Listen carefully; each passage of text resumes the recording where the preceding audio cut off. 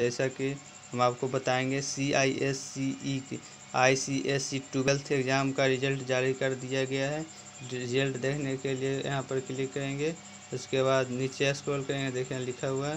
यहाँ पर देखिए लिखा है counselling for the Indian school certificate examination C I C S C I S C tenth twelfth annual examination result यहाँ पर नीचे स्क्रॉल करेंगे।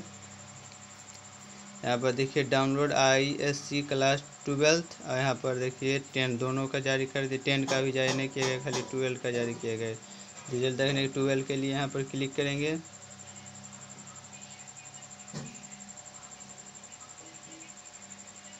देखिए, खुल के आ गया counselling of the Indian school certificate यहाँ पर आप अपना कोर्स चूज़ करेंगे, जो भी आपका स्ट्रीम है, यहाँ आई एस एस सी है।